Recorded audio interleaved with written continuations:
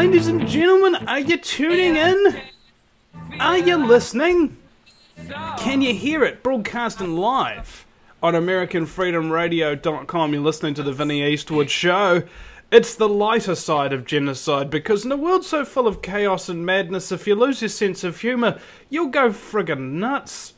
Especially me a very special guest today, uh, and we'll be joined by his uh, uh, friend in, in probably the next segment, if he ever accepts our contact request. But we have Matt Presti. Matt, welcome to the program. Hello, it's good good to be here, Vince. Oh yeah, tell us a little bit about who you are and uh, and the thing, the topic that we're going to be discussing today.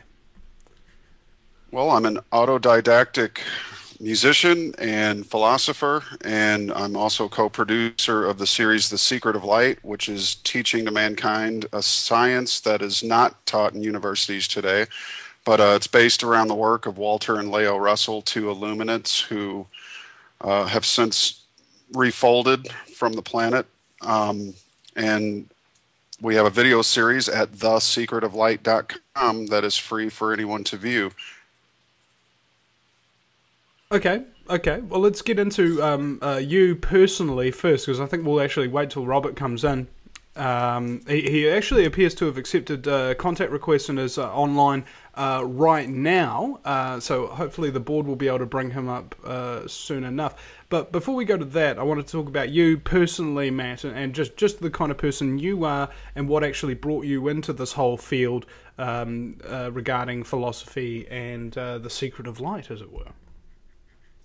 Well, I've uh, been researching conspiracies, uh, transcendence, enlightenment for many years, and um, I discovered the work of Walter Russell in 2008.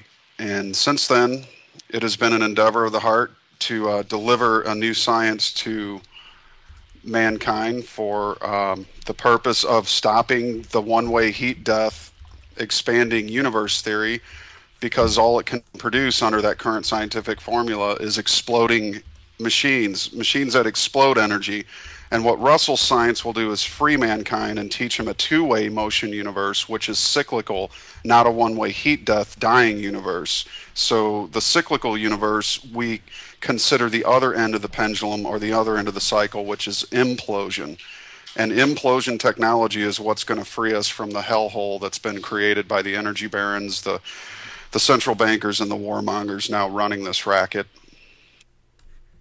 Well, they've been running it for um, well quite a long time, and uh, one one would conceive, and, and this is a, this is a big theory on the part of a lot of people, is that uh, well basically they've been running it since uh, since time began, and, and it's a heck of a lot more ancient the uh, the current ruling class than we would ever conceive of. Now, I don't know exactly uh, uh, what the substantiation behind that claim is, but it doesn't change the fact that there are a bunch of criminal, sociopathic, uh, psycho bankers that rule the world today through the issuance of currency. All right, and and as a direct result of having the issuance of currency under their direct control, they're able to control pretty much everything else. They're able to control the scientific, medical, military, and industrial um, sectors of society, education, politics.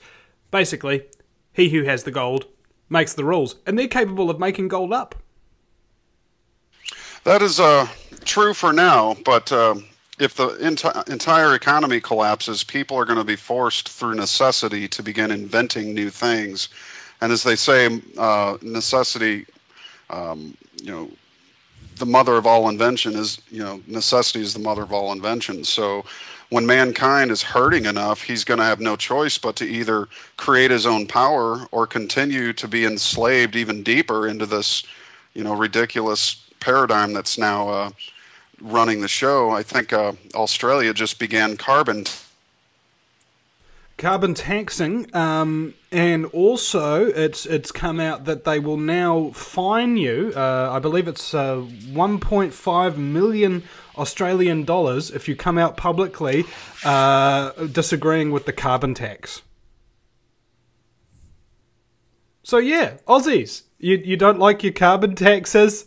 How about a $1.5 million tax? That'll teach you for trying to save the environment, eh? Kind of like those hybrid cars. Don't you, don't you love that? The whole idea is, is, is that you're trying to save the environment, but the problem is you wind up making your own environment, as in your body, your mind, your soul. That's the environment that you have to live in every day. Uh, you make that a heck of a lot more stressed, poorer, and uh, as a result, unhealthy. Stress and uh, and poverty are big indicators of how long you're going to live. So isn't it isn't that great? It's wonderful. We've now got a carbon tax which will tax absolutely everything that we do, uh, in every way, shape, and form, so that poverty will be impossible to escape forever. At least that's the idea. But I'm sure there's many ways of turning this around, don't you think, Matt? I would hope so. I mean, it's going to take a lot of people to think differently, and that's the main drag on humans escaping anything at this point. As long as people continue to think the same and accept the same mediocrity life that has been handed to us all, we're never going to escape this hellhole. But uh, what Robert and I are doing jointly, and along with many other people, is um, spreading the information about the two-way motion universe. Um, mankind, as it is right now, will never, in its currently current university system, as physics and science is taught with these so-called laws that are not really laws, they're just they're like laws of you know any other man's laws. They're they're not infallible.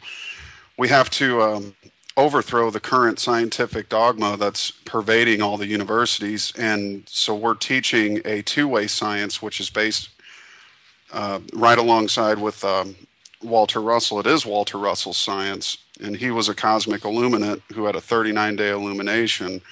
And so the knowledge he brought back 40,000 words written down and hundreds of charts and drawings that really lay out in, in a way nobody's ever you know said before that we you know have a cyclic electric universe. Okay, now we have uh, Robert has uh, in fact uh, uh, come on with us now. Robert, are you there? Yes, can you hear me? Yep, we can hear you too. Okay, well, we've heard uh, Matt's uh, sort of background about how he got into this whole um, light journey and, and philosophical modality. I was wondering uh, what actually kind of woke you up and got you into all of this. Um, I began studying it uh, quite a long time ago. Um, just an interest, uh, actually, you know, back in 1976 when I was going to uh, university, my professors told me after the first six weeks of school in chemistry class that the nuclear theory of the atom they just taught us was a fraud. They said, "Look, this thing's just a model. It's not real. Um, you know, it's just what we're basically uh, forced to teach you as part of the curriculum. So, you know, that got me thinking a long, long time ago. Well, you know, what was the point of even studying chemistry if, in fact, the foundational premise of this nuclear theory of the atom was false?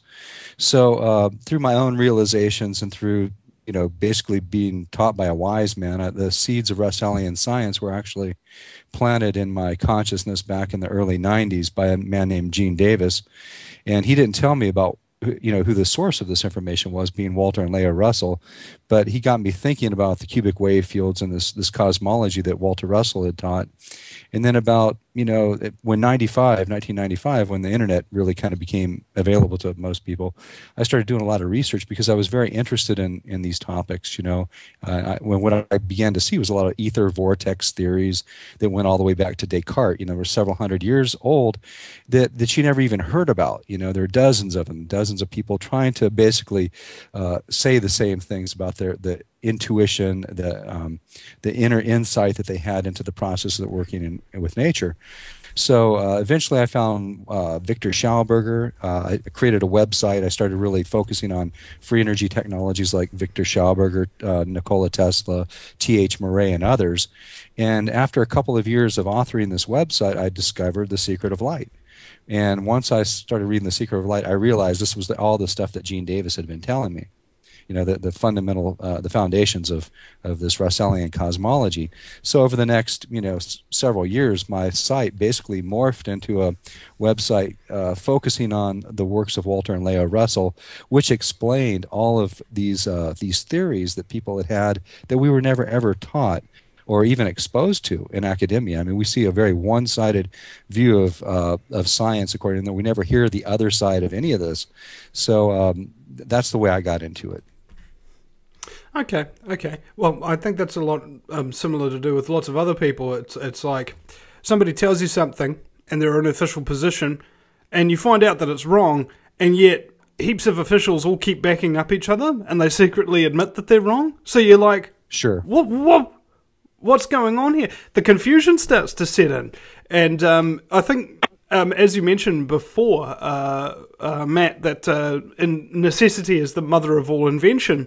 So what happens is we necessitate that it's uh, that it's now uh, time to understand what's really going on, and as a direct result, we have to invent a whole new way of thinking and a whole new basic um, life path for ourselves in order to even fit in to that invention that we've come up with. It's like, I now want to understand. I once was blind. Here we go. Now, you lose everything as a result of doing that, like career paths, etc. They kind of disappear.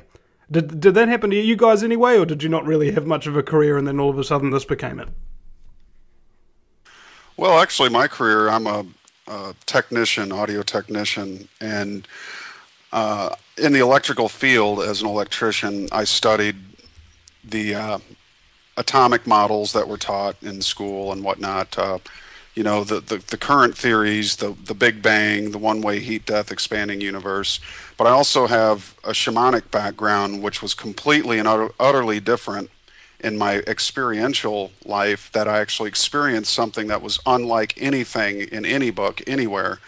But when I had acquired the Russell teachings, what I began to read from Walter Russell correlated and qualified a lot of my shamanic experiences. So it was natural for me to move into that that area of, of study. Uh, as far as does, does it affect my job? No, I still do what I what I need to do. You know, I'm one of many who are you know, researching independently, trying to bring new light and truth to the world. But I still have to chase the capitalistic carrot, unfortunately. And, uh, you know, I'm doing this not for the money. I'm doing this to try to give my children and, and the children of other people a better world to live in, one that's not full of toxicity and pollution and Fukushimas and, and, and more meltdown reactors. You know, the danger of, of you know, radiation radioactivity is is a, another big reason that I wanted to do this because you know I had had a uh, visionary experience just a couple of years ago and I saw probably six months before the Fukushima reactor meltdown in my vision uh, mile long line of Japanese men carrying buckets of water and dumping it into a hole by the ocean and the every time they would dump a bucket it would just turn into steam and so that was a very profound experience when I when I actually heard of you know the meltdown and, and what was going on. It, it qualified that vision.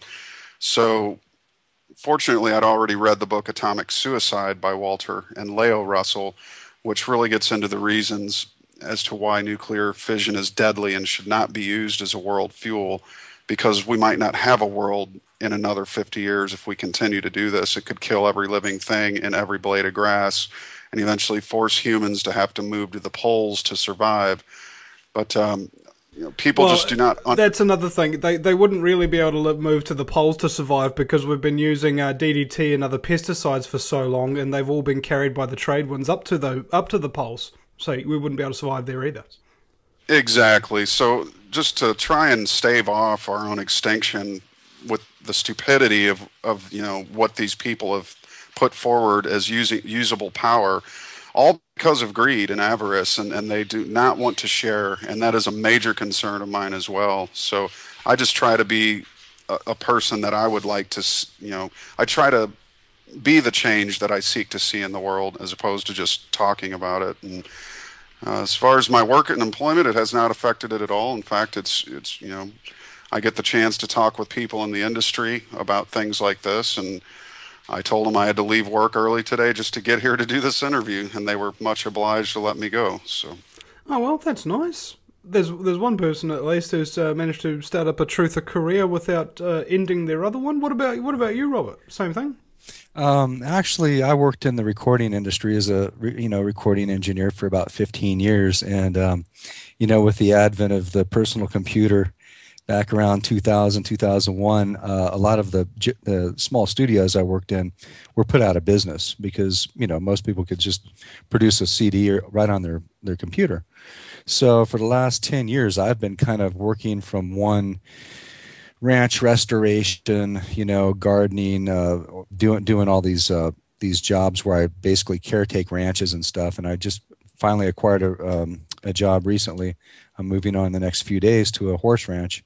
So um, I, I, I like being on ranches. I like being out in the in the um, the wilds and being close to nature, working with organic gardens and fruit trees and walnuts and stuff. So uh, no, it hasn't affected me. I mean, I, I don't place you know the acquisition of you know wealth is high on my priority. I mean, I've been pretty much obsessed with uh, knowledge and wisdom for for most of my life. I mean, I had a shamanic experience also uh, back in 1976, which got me on this path. So, all right. Well, we're coming I mean, to break. That's perfect time to leave it there. Uh, we'll be right back in just a few minutes, ladies and gentlemen. Uh, Matt Presti and Robert Otey are my guests from thesecretoflight.com. Right back, just a few minutes, ladies and gentlemen. Don't you go anywhere. If you take an active interest in maintaining the optimum health and well-being of yourself and your family, the New Zealand Journal of Natural Medicine is the magazine you've been waiting for. Having taken Australia and New Zealand by storm, the New Zealand Journal of Natural Medicine is now available in the UK and Europe. Visit www.nznaturalmed.co.uk or call 01626 337 531 to order your copy now.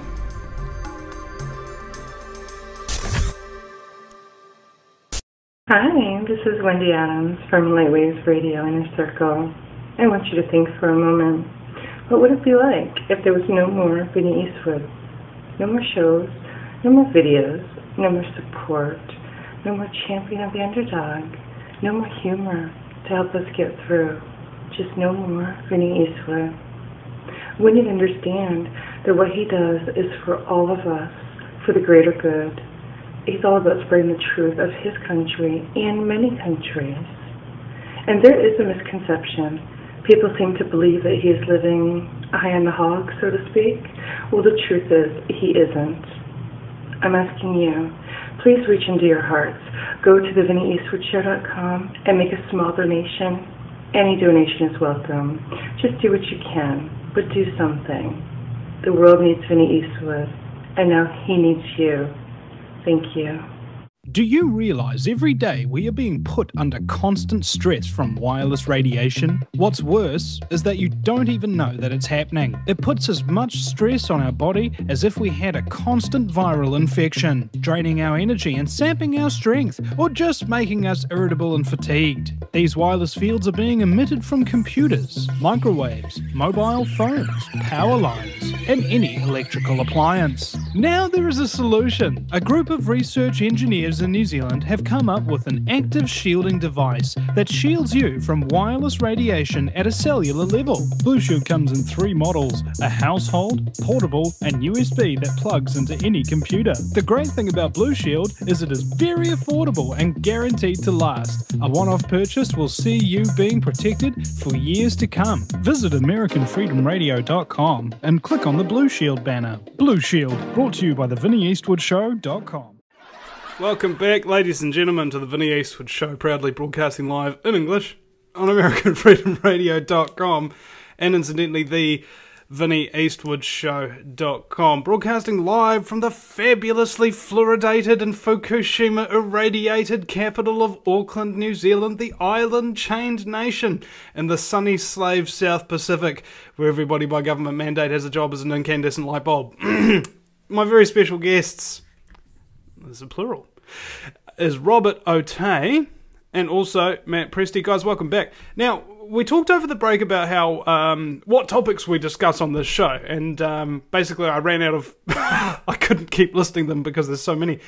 Um, but you guys wanted to um, cover something specific about uh, the conspiracy within the scientific community, and, and indeed science itself being um, almost a victim, if not part of a conspiracy. I'm, I'm not 100% sure, but I'd love it if you could uh, relate and explain it to us. Go ahead, take that, Robert. Oh, uh, I thought you had that, Matt. I can. you both had it. Sure. But, uh, sure, I mean, you're the one that brought it up. well, uh, why don't you lay out the history back to uh, 1892, and then I'll I'll take it from about 1960 on. Okay. Um, basically, um, you know, by the by 1892, Tesla had created the wireless broadcast of free energy, and uh, that was only 12 years after he created basically the entire infrastructure over that 12-year period of what we're using now. You know, the generators, high transmission wires, uh, transformers, all this stuff. And by 1892, all that was already obsolete. He didn't want this entire system that we've been slaved into, where you have you know power stations at the pinnacles of these you know creating energy. He wanted energy at point of use at anywhere that you wanted it.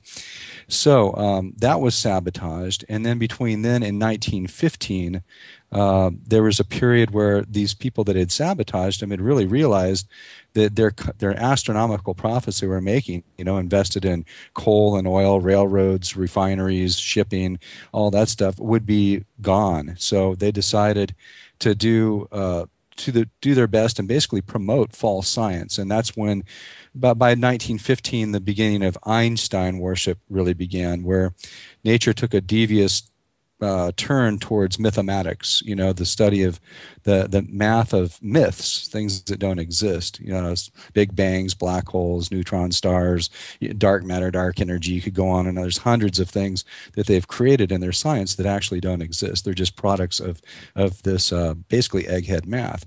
So that's um, what they did was they they hid the works of Tesla, people like Schauberger, Walter Russell. Those people were never even acknowledged, um, and Einstein was you know lifted up as the mannequin, you know, as their as their genius. So that's that's the beginning of it. In fact, I'm putting a link right now on your your link page that gives a a, a book that's 2,800 pages long, documenting the process of it's called the uh, the manufacture and the sale of Saint Einstein, and that was really kind of the death of physics, the, of natural science. Whereas Russellian science that we're teaching is based on natural science. Yeah, and up until the the current time, what we have is a university system that teaches this one-way heat death Catholic priest created Big Bang which uh, George Lemaître was a Jesuit Catholic priest who came up with the Big Bang Theory and said it validated Einstein's theory of relativity. And the Pope, one week after the Jesuit uh, Lemaître put his theory out there, Pope Pius conveniently confirmed that his theory proved Genesis 1 1. So it, it's just how convenient that the Catholic Church, you know, happens to approve of a theory that their own Jesuit put out, which also the theory itself. Whoa, whoa, whoa hold, hold on a second. Who would have thought that a religious person would back something that already uh, that they already agree with that already uh, uh, uh goes along their same own, own ideology, right? Who would have thought yeah, that? Go, go, go, figure that. I mean, you know, but uh, people that, are, that just came out of the blue, man.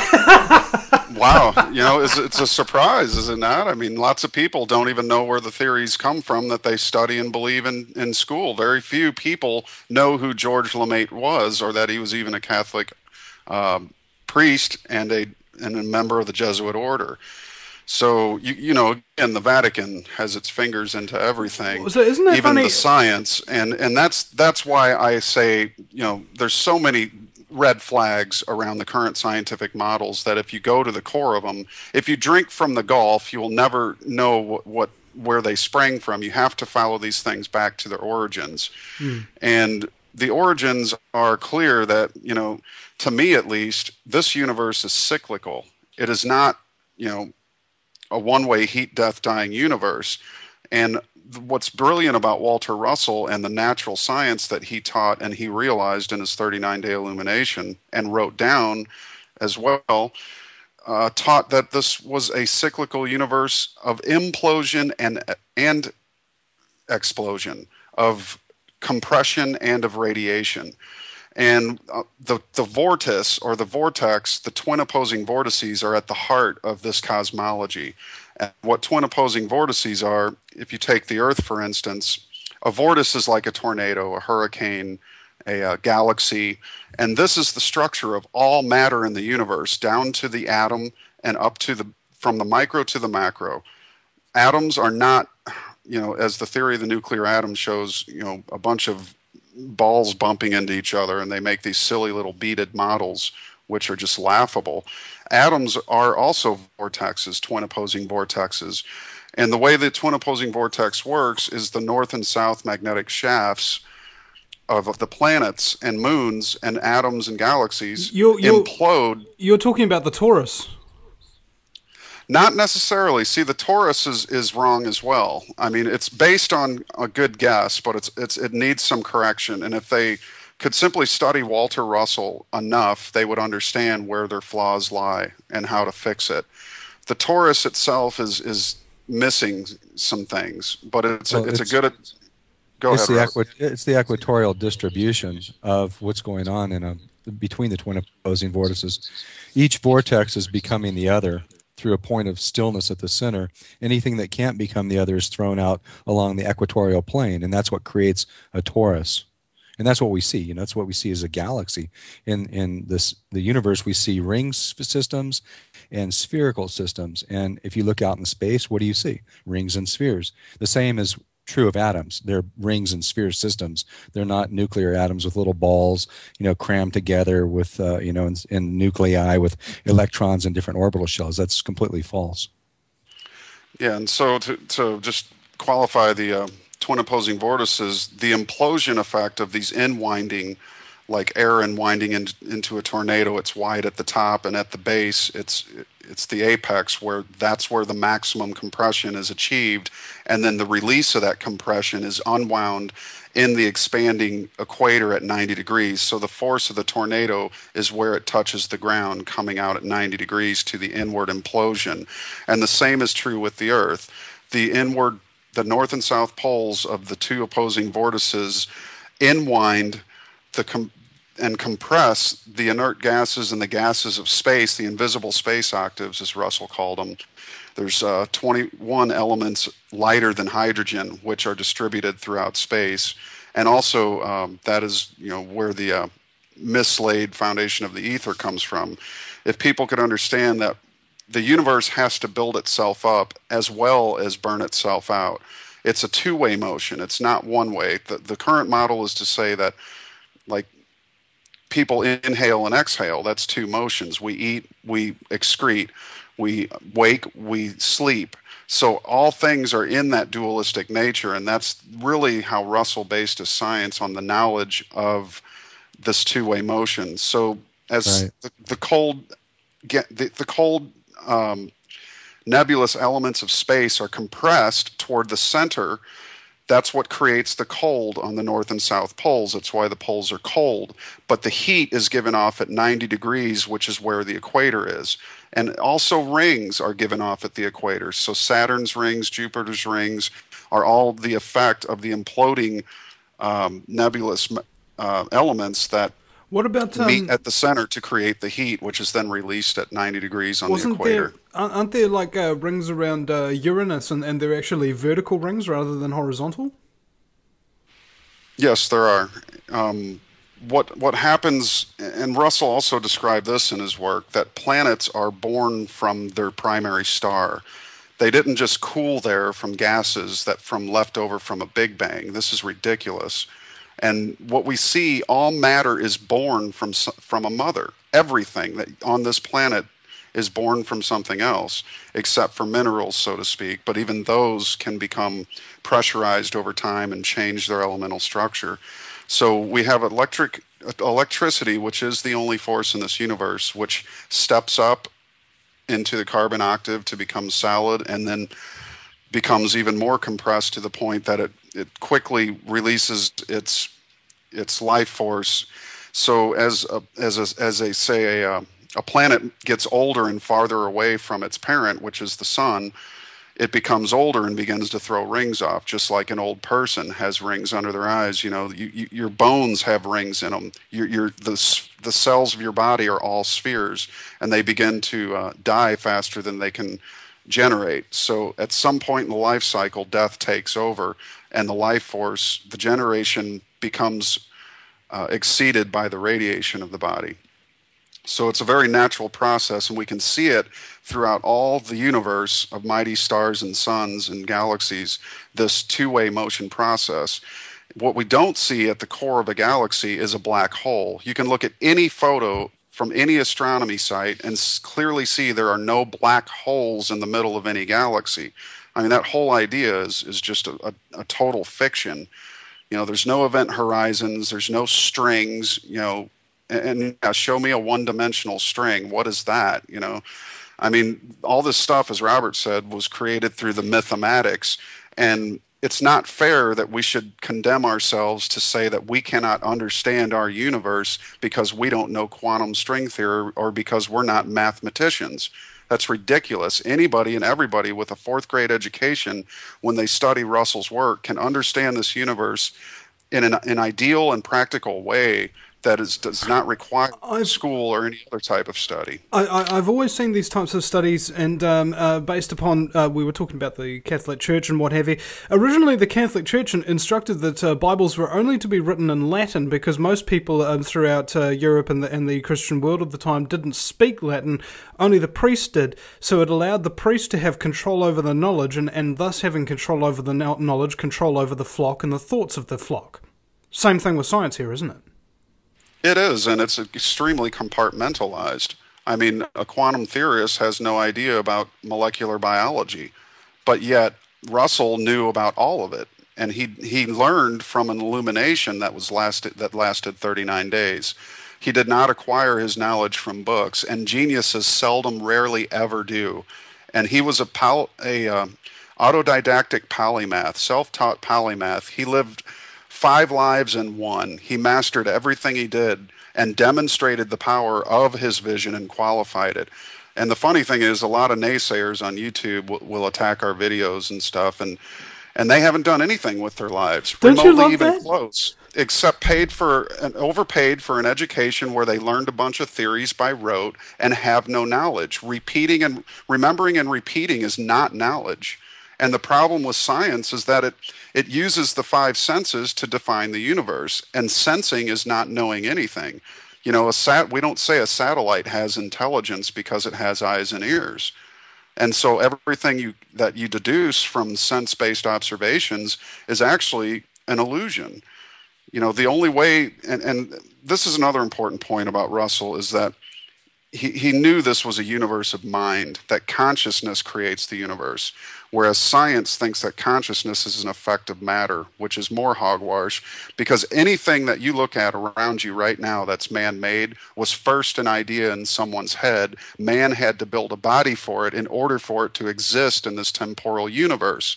It would not exist otherwise. Mm. And as hmm. Stephen Hawking said, uh, God was not needed to make the universe. Well, I beg to differ, Mr. Hawking, because it's like saying man was not needed to build that bridge, that the bridge just built itself, that mindlessness builds itself and I just don't agree with that because yeah.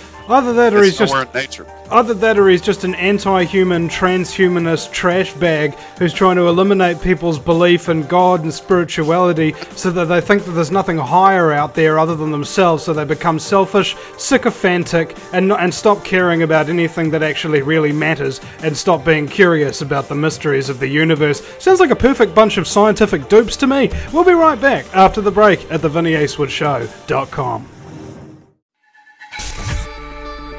If you take an active interest in maintaining the optimum health and well-being of yourself and your family, the New Zealand Journal of Natural Medicine is the magazine you've been waiting for. Having taken Australia and New Zealand by storm, the New Zealand Journal of Natural Medicine is now available in the UK and Europe. Visit www.nznaturalmed.co.uk or call 01626 337 531 to order your copy now.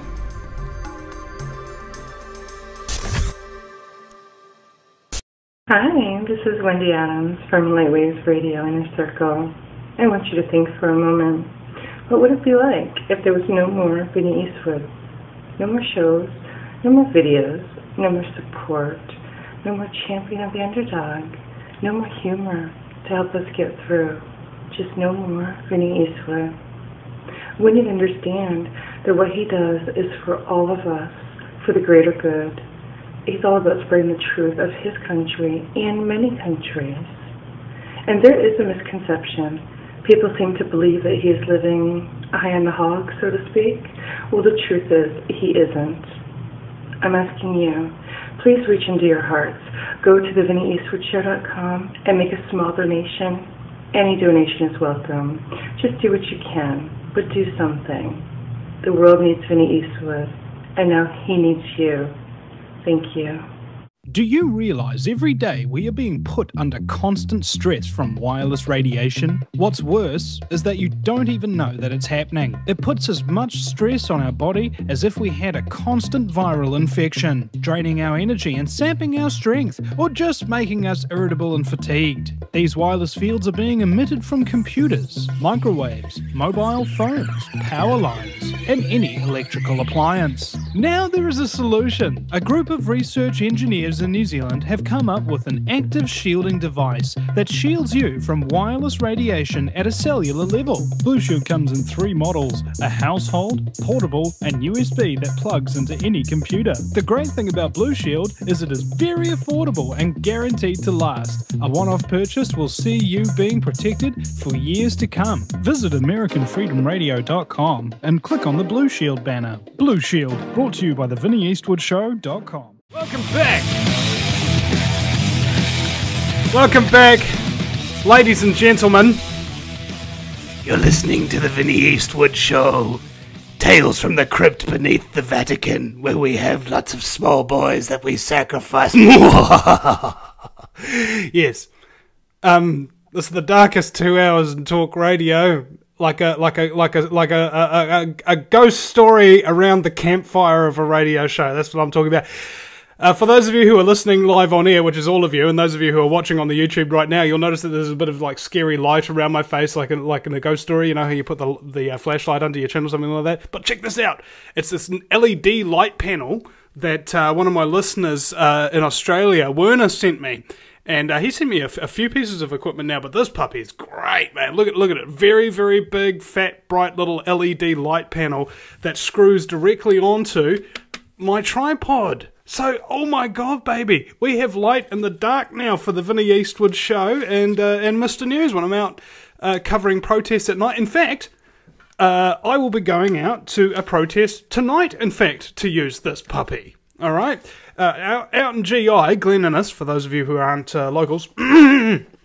There are a whole bunch of state houses that were built way back in the day for all the returning veterans and, th- and things of that nature who paid their rent uh, to the government, have paid off those houses more than anybody could ever conceive of, and made a heck of a lot of money for the government. And now that the government's um, thinking, you know what, we, we really do have to kind of think about selling out to the World Bank and IMF and enslaving absolutely everybody and taking away every bit of rights and liberties and and, uh, and, and services that they ever had under the government that they all got used to and got dependent on. So now we're going to basically put them in abject poverty. That's what's going on. They're going to go go out and kick all those people out of their houses tonight. So I'm going to be there and documenting that Shiite Muslim in full living quality colour. And I want to thank Werner personally uh, for, for sending me this puppy here um, because literally, without this piece of equipment, this one little piece of equipment, tonight I wouldn't be able to see anything through the camera lens. That's how tiny the lens is. The bigger the, your camera lens is, the more light it lets in. So if you are going out and you're filming um, protests or, or, things like that at night, uh, make sure you have uh, something to light it up. A um, if, if this kind of uh, thing is not your deal, like if you can't afford like a big LED panel or something like that, which has been well, I can't afford it. it was sent to me, but um, a flashlight just just a normal um, uh, LED flashlight. Their their batteries last for, for a long time. Um, if that doesn't work, also uh, work lights, hanging work lights. You can get them from uh, hardware stores and, and, and, things like that. And they're uh, they're battery powered. Get rechargeable batteries so you can keep using them over and over again um, that sort of thing. They might be a little bit more expensive, but basically it'll save you money over the over the long period of time. So there's my little bit of uh, Vinny Eastwood uh, rabid dog uh, uh in in your face filmmaker uh, advice for today. Now, Matt Presti and Robert Otey are my guests today. And uh, what were we talking about over the break? Oh yes, atheism. now, isn't isn't it uh, quite nice and hilarious and ironic that atheists will uh, claim that science is the be all and end all, basically, and uh, they they are basically unaware that the whole scientific principles and everything that they believe in was actually created by, you guessed it, the Vatican. oh, you dumbasses. Oh, oh, the stupidity. Or at least that's my perspective on it. Anyway, my sister's an atheist. I probably shouldn't do that, but I think she might be coming around. um, it, it, it's just kind of like this you all believe what what makes you feel comfortable, whereas I believe in what makes me the least comfortable because I know it's probably most likely to be the truth. For instance, if um, I don't want to believe that there's a ruthless, criminal, sociopathic bunch of scumbags that control pretty much everything um, that goes on in this world and they want to kill all of us, it makes perfect sense to me because I certainly don't want to believe it. Whatever I don't want to believe, that's what I invariably wind up believing because that's what the evidence suggests, and that is what uh, the difference between um, having a belief that's set in stone and just having an acceptance of, of somebody's uh, information. They'll put it out in front of you if it makes sense, if it is uh, backed up, scientific evidence, blah, blah, blah, blah, blah. Sweet, fine. I'll accept that. I'll pop it into my little goodie bag. All right, right there with a little psychological castration type thing. But the rest of it, on the other hand, some people, if you find something that is very uncomfortable, you will refuse to believe it, even to the point where you'll wind up hurting and attacking other people who are trying to inform you so that you're not going around in a uh, sort of moronic myopia for the entirety of your life. And, and uh, you guys, you've had uh, a lot of dealings, I would imagine, with people of that sort of uh, moronic, myopic mindset. Uh, more than you can even know. more morons. More than you know. Um, and there's some of the worst people too. Some of the most spiritless and and drone and droned like people I've ever encountered. And they always argue, you know, science is fact and science is law and you know anything you have to say that's against the law is not to be listened to well that's not very scientific now is it wouldn't you think science which means which comes from the latin um, co means means literally to know not to sense but to know. And the problem with these people is they don't know anything.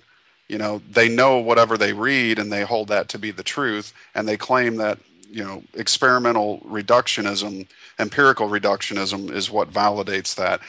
But um, robert would you care to chime in on this at any point? Please feel free uh, to sure. Well you know uh, religion um, science is a modern religion really. I mean uh, you have your high priests of predictivity. They're the scientists that run the racket. Um, you have to have faith in their theories. You have to have faith in the mathematics. And you have to f- have faith in their thought experiments. And um, you know, basically, it's no different than a religion because uh, a lot a lot of this is not even um, based on reality. It's based on people's guesses.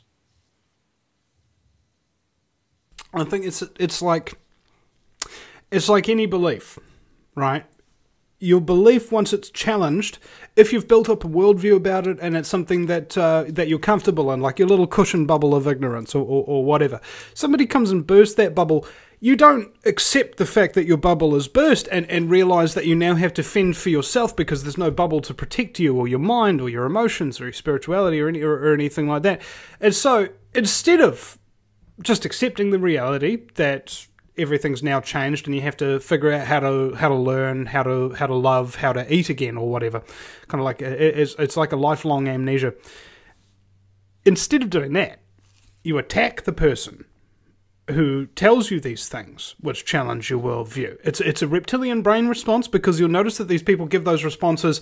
It doesn't take it doesn't take very long. It's pretty much instant. Just boom, I'm attacking you. You're a moron.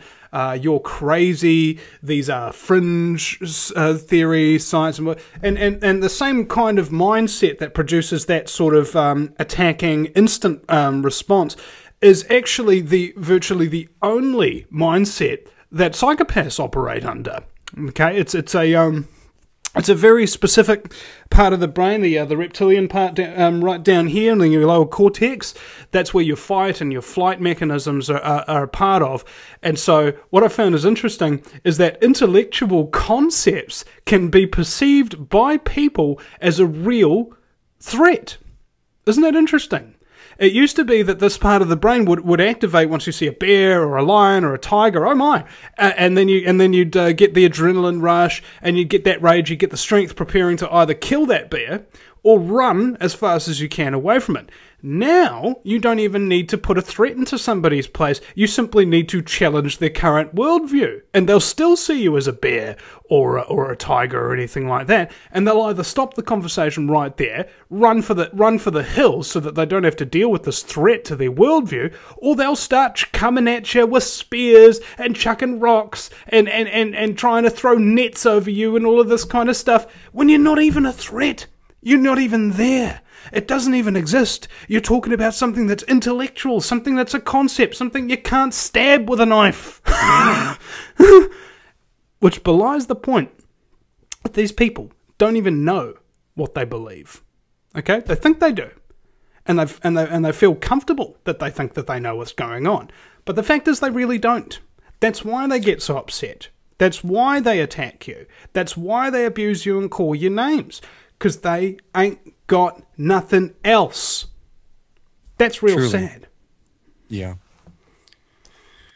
Yeah, that's been our experience. They, we've come under a great deal of attack for trying to basically open their minds and show them that you know the the science that they believe in is flawed, and yet, you know, they get so hysterical. Most of them are atheists and agnostics. That's the that's one of the big problems.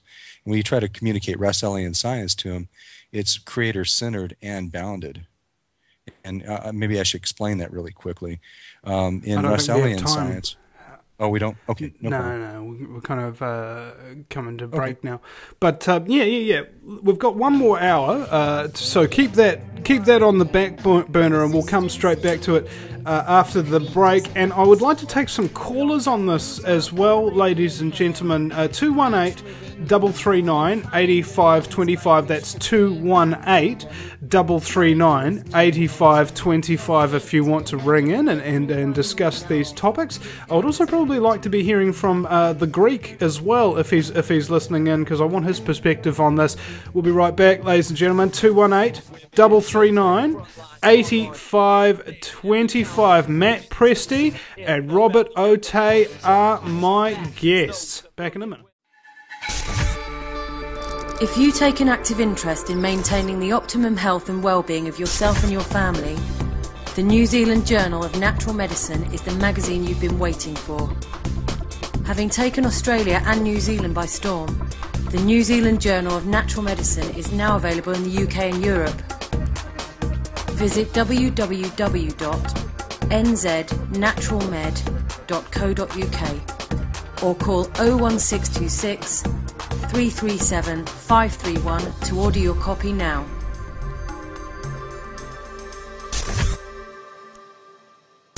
Hi, this is Wendy Adams from Lightwaves Radio Inner Circle.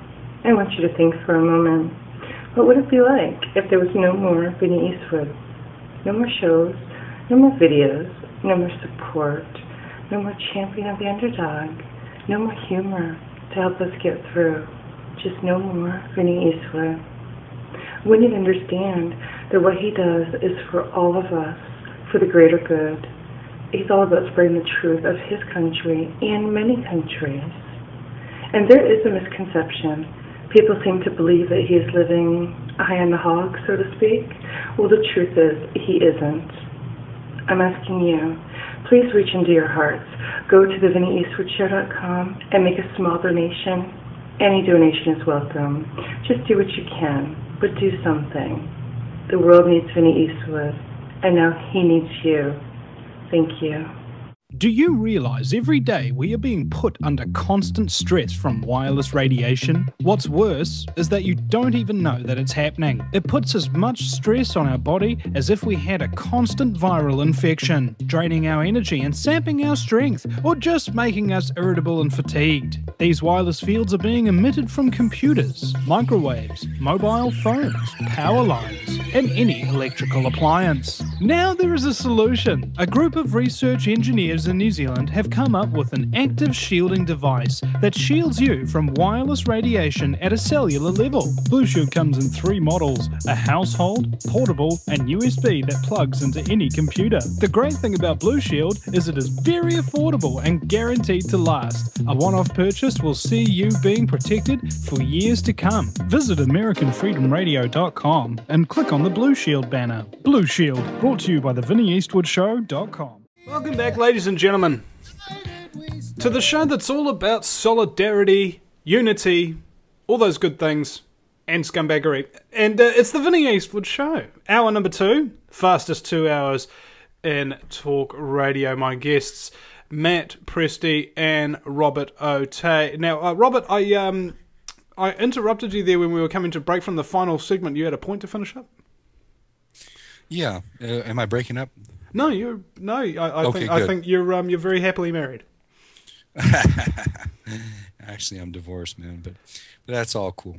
Um, yeah, what I was trying to say about uh, Russellian science is it explains what you know. These we have these terms: gravity, light, electricity, magnetism, energy, space. All these kind of terms. They're they're uh, completely unknown in academia what they actually are, and in Russellian science, it's explained. And for instance, magnetism, it's not a force in, in Russellian science. There's only one force, it's electricity, that either unwinds matter or it unwinds matter. It compresses or expands. Magnetism is actually planes of stillness. Uh, these cathode planes of stillness, which control the electrical motions that give form to our electric universe. So, um, basically we have a, a, magnetic universe of stillness that has complete control over our electric universe. Now, nowadays we have a lot of the, the findings are being confirmed by, I'm sure you've heard about the electric universe paradigm, uh, thunderbolts.info, for instance, the work of David Talbot. You haven't heard any of these folks? No, man. Uh, in fact, uh, Oh, okay. are, are they still alive? Because if they are, I can Oh, get yeah. them on the show, Yeah. unless they've been electrocuted no. to death or something. Well, we, we would uh, basically be contradicting some of the work because they're they're only looking at half of the the um, the equation, half of half of reality. What they do is they focus on the effects and they never talk about the causes, and uh, so they have basically proved that. I, with their dissenting science, that you know this is not a gravity-based universe as Newton and, and Einstein in academia claim it is you know it's basically an electric universe. Everything's controlled electrically. So uh, they have done a lot of work. They've been able to prove a lot of the astrophysics in the laboratory. They've been able to replicate all these things that we see out in the cosmos. But unfortunately these people also are afraid to deal with the creator. Uh, you know it's like they have to stick to this agnostic atheistic kind of sterilized sanitized view of reality. And if you try to mention the creator then they, they kind of lose it you know what I mean? So uh, they've got half the story, whereas Walter Russell's work is about the entire story. It's about causes and effects. Whoa, whoa, whoa. Let me see if I understand this correctly. Sure. Catholic Church, the people who believe in the Creator, come up with a um, basically a false science paradigm to uh, basically distract people uh, from how the science really works. Even though, if they told people how science really works, it would lead them towards the Creator. Now, I would act under the assumption that the reason for that being is that religion is not about bringing people to God, not about bringing people to spiritual salvation. It's about mind control. Absolutely. And it's not just the Catholic Church. I mean, you know, Newton, I don't think he was any part of any intentional conspiracy, but there was, you know, some logical fallacies, some basic assumptions that he made, for instance, about his universal law of gravitation. Uh, you know, that's based on the idea, the assumption that the moon is like a cannonball. you know and but the moon has nothing to do with a cannonball the moon has its own center of gravity it's not like a, something shot out of a cannon. So basically the very foundations of the universal law of gravitation which has been applied to all of astronomy in all their predictions all their their guesses all of their quantifications and qualifications of the cosmos out there that fundamental assumption is false. So everything based on that and the other the other assumption about that would be when they measure these distances to stars and stuff, they measure them in straight lines and they use trigonometry. Well, there's no such thing as a straight path in space. It's impossible. All paths in space are curved. You can't get from one planet or one star on a straight line anywhere. It's impossible. Every single curve, every single path in the universe is curved. It's a spiral path. Is that because nothing stays still in, in the universe. Exactly. Like like basically exactly. every every planet is uh, rotating around a sun. Every sun is rotating around a galaxy. Every galaxy is rotating around what a, a, a red dwarf Truly, star red dwarf star cluster Truly. or something like that, and so on yes. and so on and so forth. Exactly, exactly. Even at the atomic level, the same thing's happening because everything is based on spiraling phi. Oh my god! The, that explains that explains Barack Obama's cabinet. They're spiraling around him like a.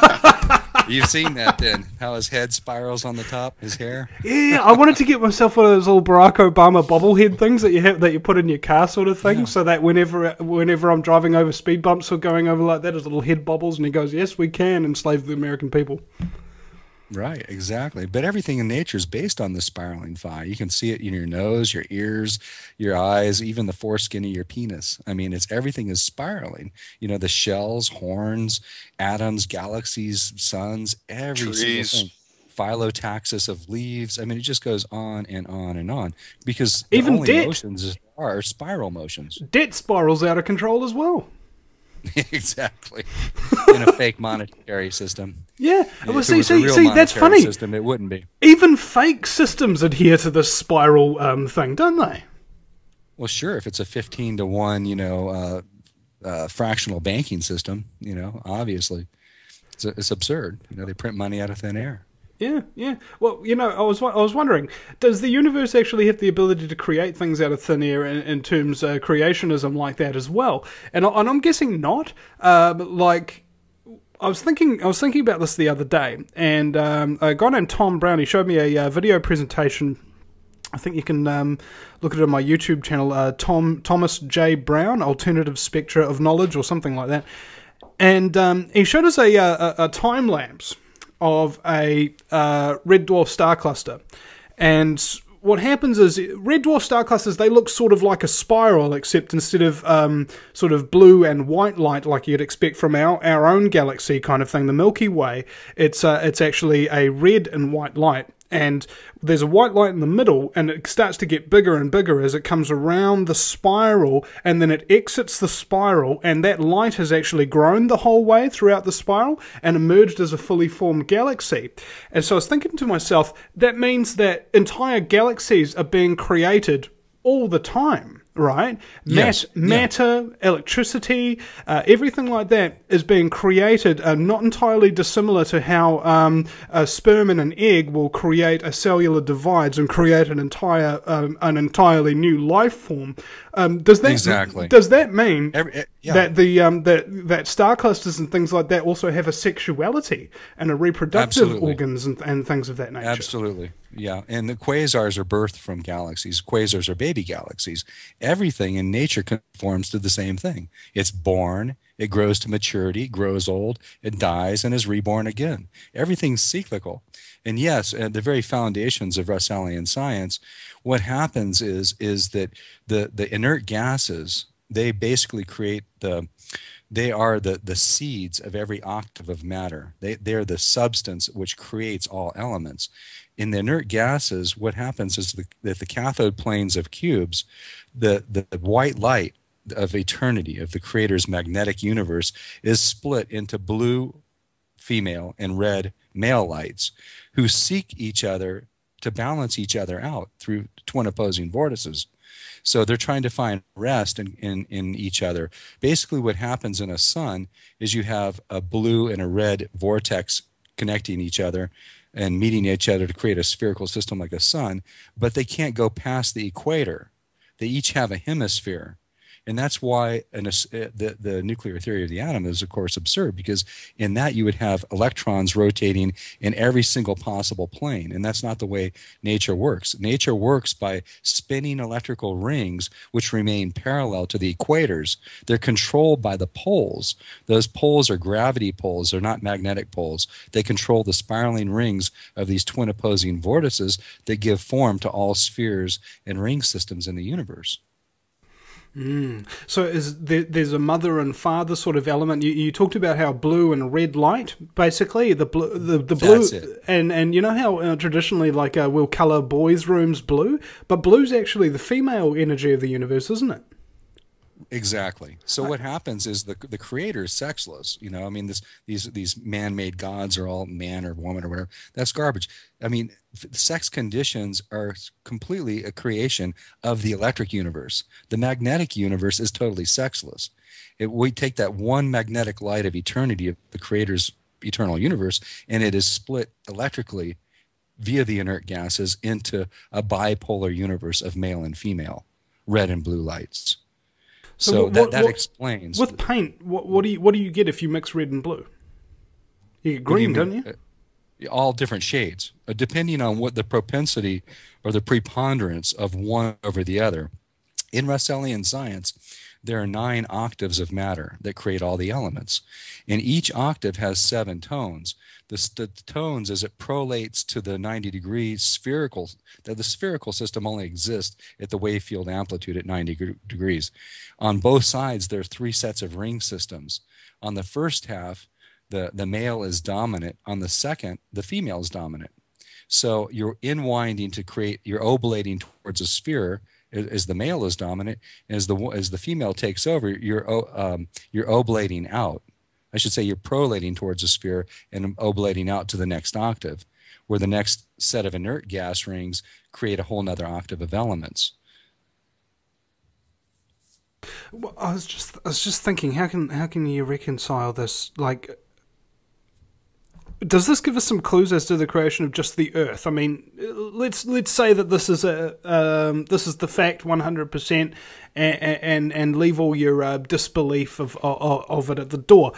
Does that mean like uh, let's say Earth was just kind of given birth to by um, the sun, right? Just kind of, just kind of like it. Yes. It it, um, it was created inside it, um, like a fetus, curled up, yes. and then was born out, and it was and it was still hot or whatever, and then it goes into the position of Mercury, and then another baby comes out, and then Mercury gets pushed gets pushed back, and it becomes exactly. Venus, and so on all and the, so all forth. the planets keep getting pushed outwards. Yes. Right. Right. So yes, it, it, and, it's and, it's similar to um, a family situation where basically um, the eldest child will, will wind up all the all the way out at the end, kind, exactly. kind of thing. exactly. Yeah, and that's um, what Walter said in his writings was that there's one law for all bodies in the universe. And if you look at a child, it's born, it's small. You know, look at the planets before Earth that are closer to the sun, they're smaller. And they have very, their centers become very tightly wound. So as they grow, though, and mature, they move farther away from home, as children do. I mean, it's it's so just seamless. This the science is very seamless. It doesn't leave a bunch of holes in it for all these flaky theories to pop up, like string theory to the 500th Planck, and you know, uh, event horizons and yeah. dark matter. I've you know. always said for a long time that if somebody's trying to explain something to you and they explain it in a convoluted way that you can't understand, it means that they don't know what they're talking about. Right. Exactly. And if I if I may just finish the, the, the cycle of a planet, as they grow further, they grow bigger.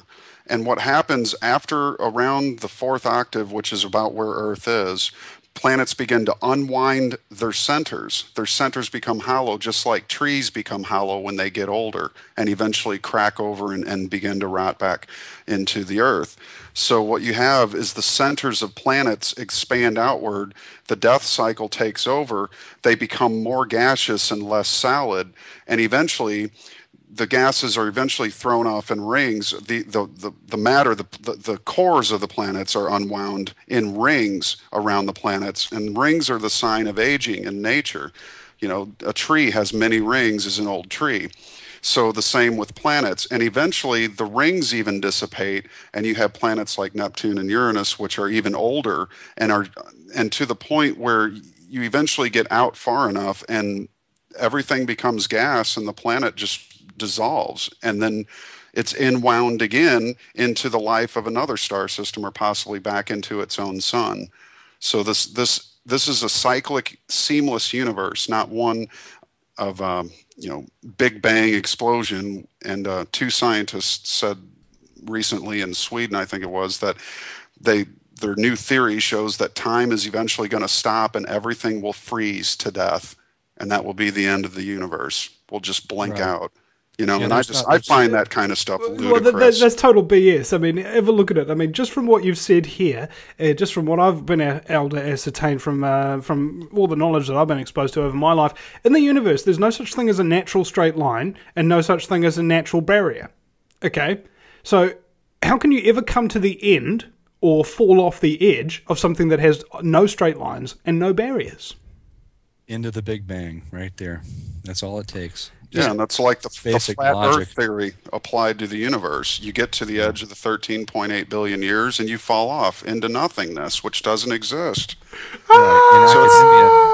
So welcome, welcome to your view of the universe, science people. You believe in a flat Earth, flat universe, sure. literally. You know. Well, in look at it. Look at it this way. Of... They've gone past the point of thinking that it's on the back of a giant tortoise, at least. There you go. You know, there's some room for improvement. Right. Well, academia has a set of laws for the small and another set for the large, and that's absolutely absurd. It's seamless. There's the the, the micro and the macro are the same. Everything's the same. Yeah. Everything's the same. It means you actually got not that much to learn.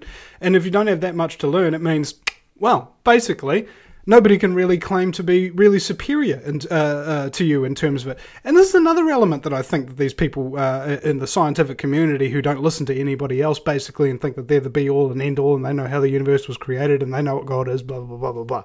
These people think they know everything. Okay? And, and whoever thinks that they know everything, okay, is either completely and utterly insane or drastically misinformed, right?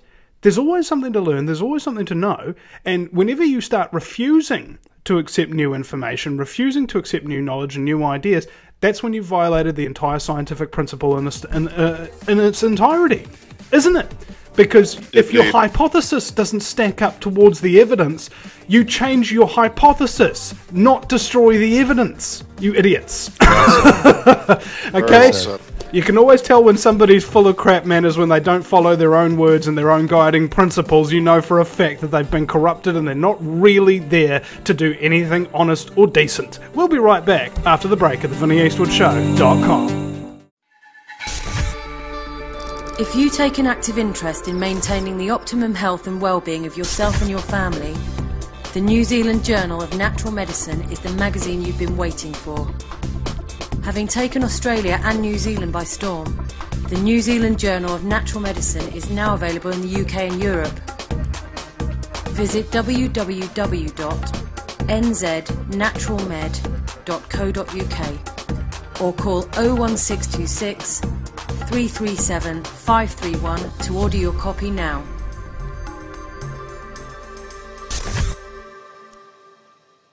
Hi, this is Wendy Adams from Lightwaves Radio Inner Circle. I want you to think for a moment. What would it be like if there was no more Vinny Eastwood? No more shows, no more videos, no more support, no more champion of the underdog, no more humor to help us get through. Just no more Vinny Eastwood. To understand that what he does is for all of us, for the greater good he's all about spreading the truth of his country and many countries. And there is a misconception. People seem to believe that he is living high on the hog, so to speak. Well, the truth is, he isn't. I'm asking you, please reach into your hearts. Go to the VinnyEastwoodShow.com and make a small donation. Any donation is welcome. Just do what you can, but do something. The world needs Vinny Eastwood, and now he needs you. Thank you.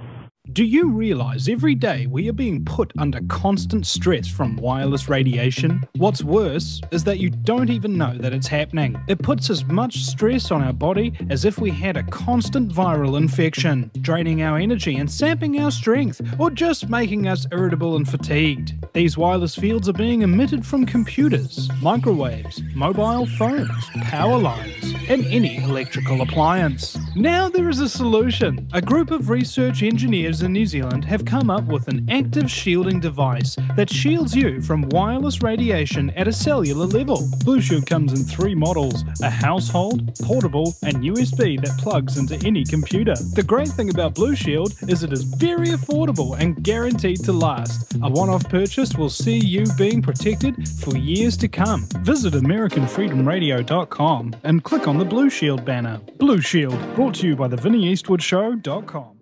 It's a brand new world. Welcome back, ladies and gentlemen.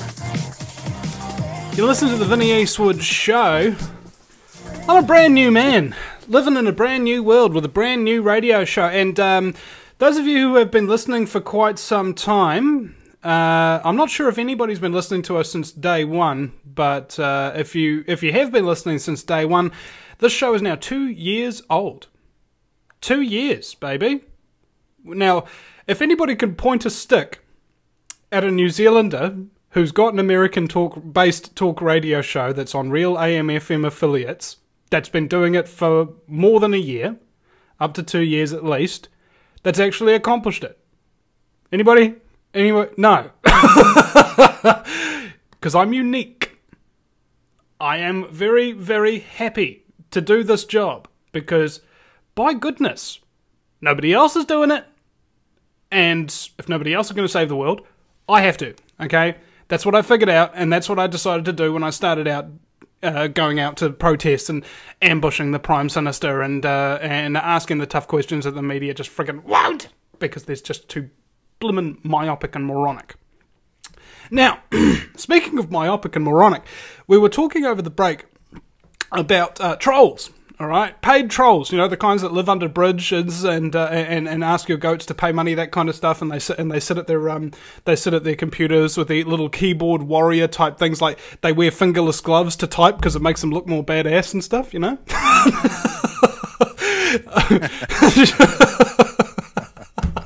That's a cra- that's a classic image. I'm gonna get it.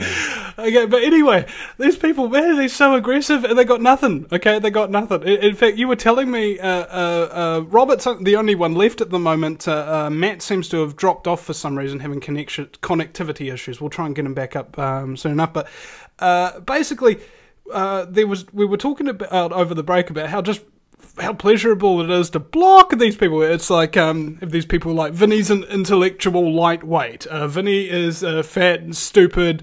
Vinny's not funny. Uh, you know all these, all these kind of things. Just basically, they've got nothing to contribute to the to the conversation except insulting you. So you just block them. And um, don't you have like an extensive list of of blocked people, Robert?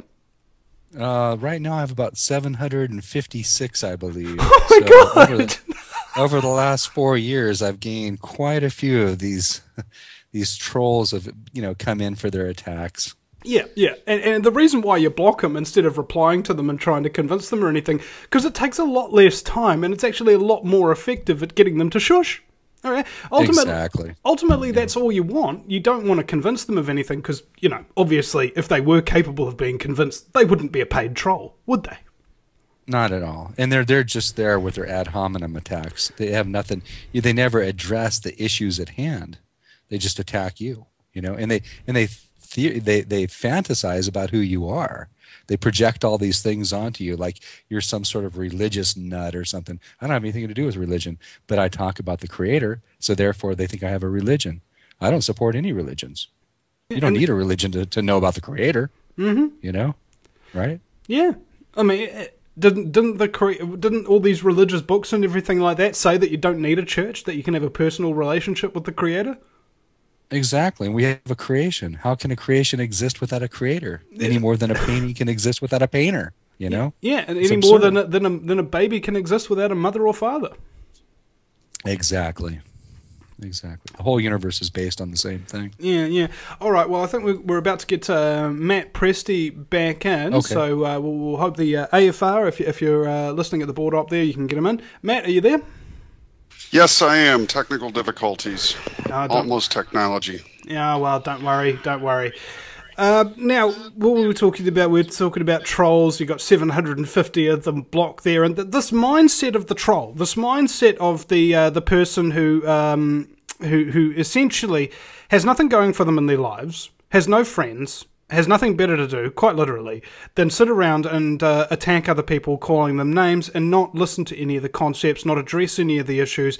And ultimately, these people are slowing up the evolution of mankind, both spiritually, intellectually, and of course, in their in their own cases, because they never never get up off the computer or anything like that, and are just eating bags of Doritos and two minute noodles and aspartame flavored Coca Cola and, and and vaccinated until they're going to you know these these kind of people. You you also notice that they're very unhealthy. Okay, um, and you can always tell very unhealthy people by people who make you feel stressed out simply by being in their presence, simply by reading their comments. It, it kind of makes you angry or upset, and and you notice that that that anger and upsetness is actually on their part, and when they tell you something, it actually transfers across to you.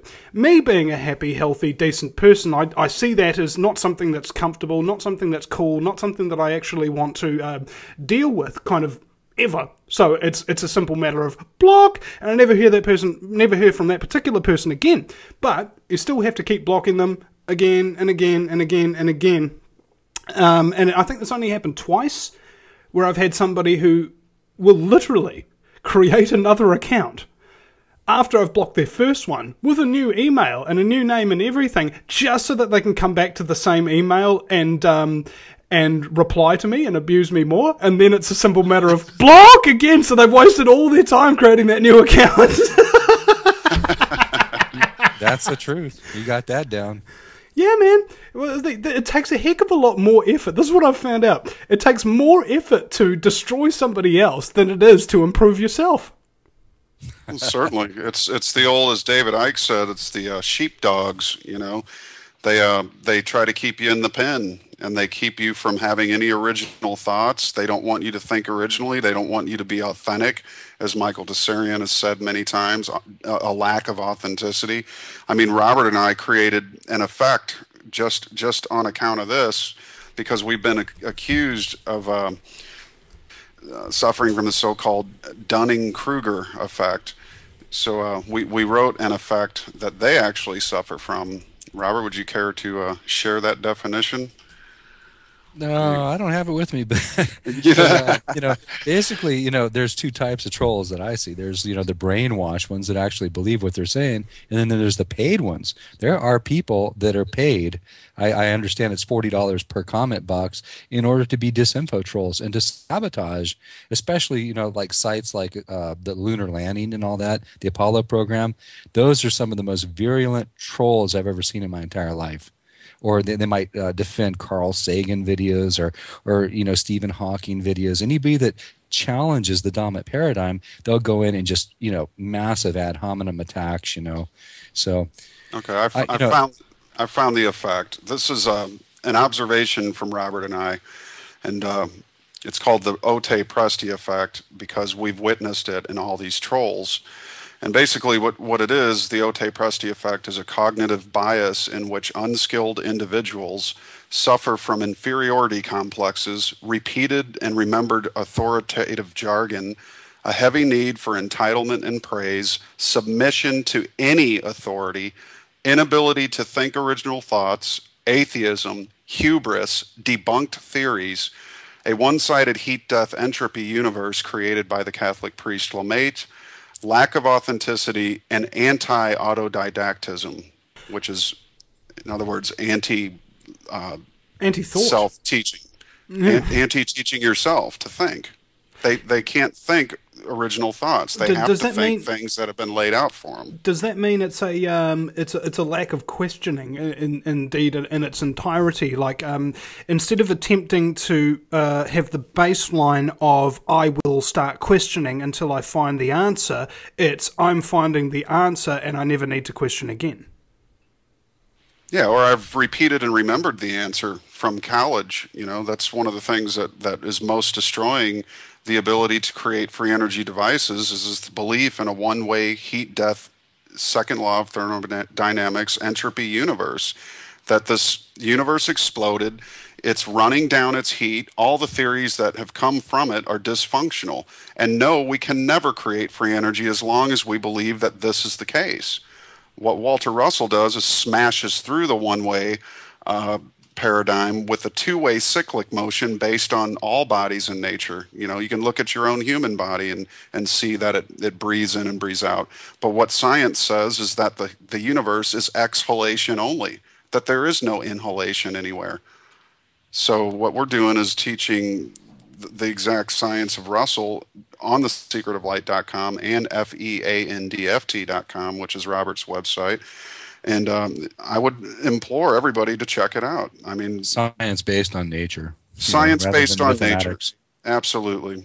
Yeah. Yeah. You know, I got to say, I got to say about the trolls. You know, uh, at first it really put me off. You know, I, I started, yeah. my blood would boil. You know, I'd get all freaked out, and I just want to, you know, reach through the, uh, you know, grab the little chicken neck through the through the screen of the computer and ring it. You know, but uh, really, what it's become is like a challenge. You know, because if we're going to take this stuff on the road and never go lecture, I mean, I, I, appreciate this. I've had all these things thrown at me, and you know, it's been like, uh, you know, weight training in a sense.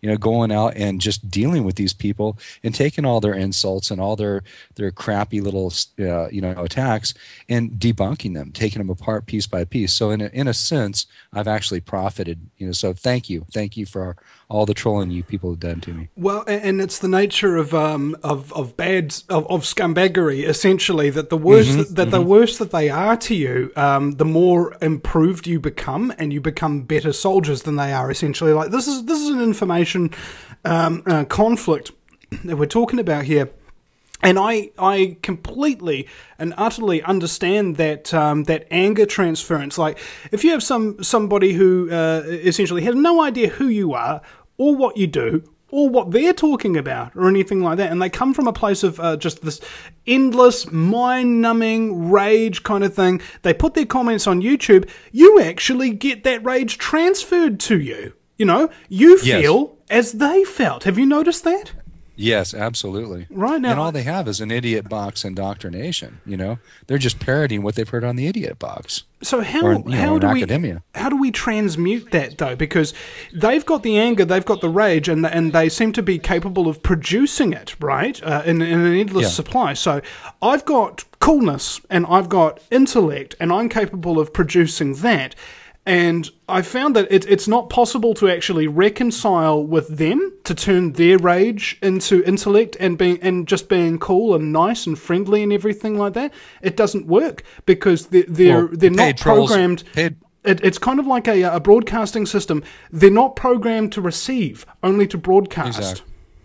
Well, the paid trolls for sure. You're never going to get. They're they're getting paid to do this they're going to take the opposite side of whatever you say. But you're right. There are some people out there that are, you know, if you approach them with an open heart and you and you try to to be nice to them, I mean, uh, you can win them over. I've definitely done that also.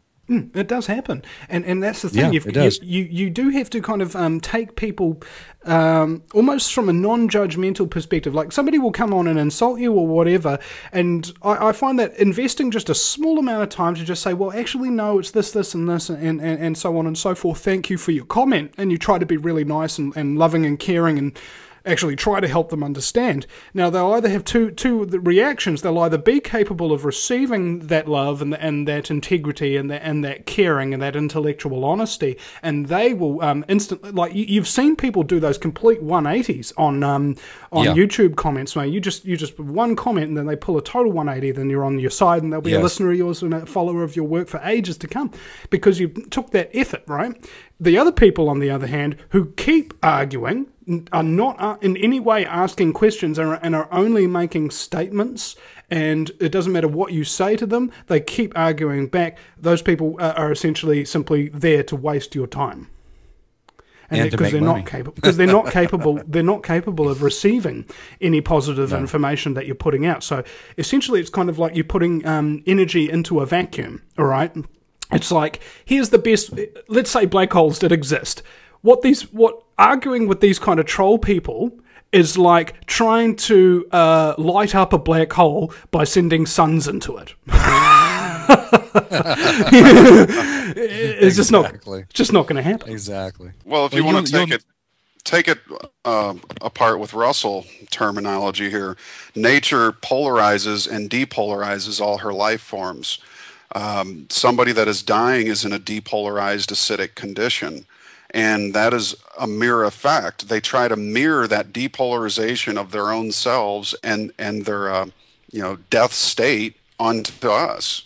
But people who think positive and happy thoughts and remain happy, who are bountiful of, of and aware of the beauty of nature's bounty, create polarizing conditions of the body. And people who are angry actually serve are, are actually serving to kill themselves with their own thoughts. And That your thoughts literally create reality. This is a consciousness universe, you know, in my humble opinion. And um, based on your your polarization state, if you're polarized, you're generating life. If you're depolarized, you're devitalized and degenerating or radiating. And um, that's pretty much how I look at, you know, the thinking process. Well, yeah, yeah, and, and the thing is, those people are uh, what we're talking about are, are what's known as toxic individuals. Now, if you wanted to be healthy and happy, ladies and gentlemen, how much toxicity are you supposed to crave? How much toxicity are you supposed to allow into your life and to try and keep there and make an effort to keep toxic? The answer is none. Purge the toxins is what you should do. We'll be right back after the break at thevinnyeastwoodshow.com. If you take an active interest in maintaining the optimum health and well-being of yourself and your family, the New Zealand Journal of Natural Medicine is the magazine you've been waiting for. Having taken Australia and New Zealand by storm, the New Zealand Journal of Natural Medicine is now available in the UK and Europe.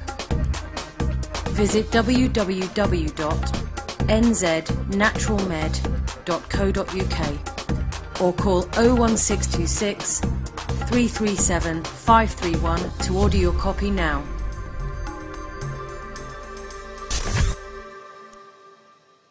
Hi, this is Wendy Adams from Lightwaves Radio Inner Circle.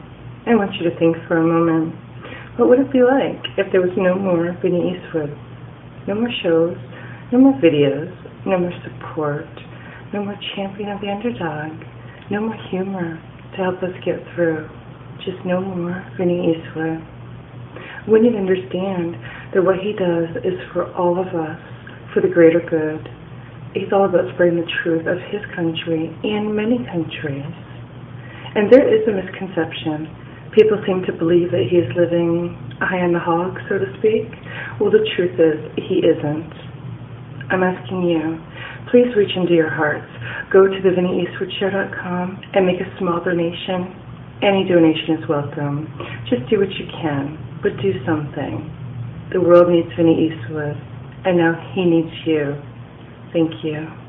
Do you realize every day we are being put under constant stress from wireless radiation? What's worse is that you don't even know that it's happening. It puts as much stress on our body as if we had a constant viral infection, draining our energy and sapping our strength, or just making us irritable and fatigued. These wireless fields are being emitted from computers, microwaves, mobile phones, power lines, and any electrical appliance. Now there is a solution. A group of research engineers in New Zealand have come up with an active shielding device that shields you from wireless radiation at a cellular level. Blue Shield comes in three models a household, portable, and USB that plugs into any computer. The great thing about Blue Shield is it is very affordable and guaranteed to last. A one off purchase will see you being protected for years to come. Visit AmericanFreedomRadio.com and click on the Blue Shield banner. Blue Shield, brought to you by the VinnyEastwoodShow.com. Welcome back, ladies and gentlemen, to the Vinny Eastwood Show. It's the lighter side of genocide because if you don't have a sense of humour in this in this movement, you're probably a troll. My very special guests are Matt Presti and Robert Otey.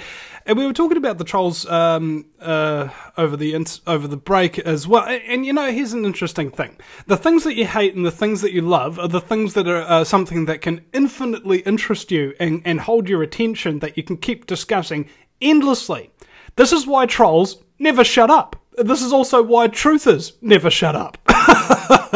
Because we're both intimately involved, incentivized, and tested and qualified to keep doing what we're doing. Now, I'm qualified as somebody who uh, cares about other human beings, what their opinions are, what the things are, who cares about whatever uh, is actually happening in the universe and all of that kind of stuff. But I don't care to the point where I'm going to actually hurt people who disagree with me or attack them um, consistently without any thought of actually wanting to help them, right?